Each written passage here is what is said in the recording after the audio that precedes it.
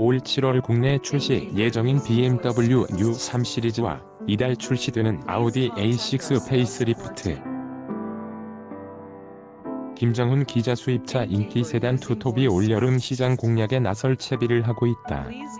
8일 관련 업계에 따르면 이달부터 아우디 A6와 BMW 3 시리즈 신모델이 순차적으로 출시를 앞두고 있다. 이들 두 개 모델은 수입차 고객들이 구매 리스트 1순위로 꼽는 만큼 업계가 주목하고 있다. 오는 21일 출시 예정인 아우디 신형 A6는 유로 6 배기 가스 규제를 충족한 페이스리프트 차량이다. 2011년 full model change 이후 4년 만에 변경으로 다음 달부터 본격 판매된다.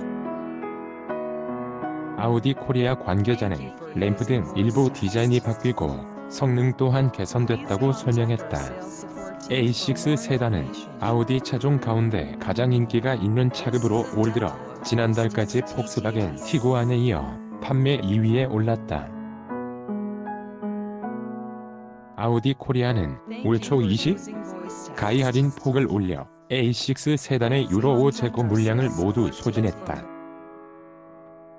신형 모델은 상품 개선에 따른 가격 인상이 불가피하다. BMW 코리아는 이르면 7월께 3 시리즈 부분 변경 모델을 내놓는다. 가솔린 320i, 디젤 320d, 320d xDrive 등이 교체된다.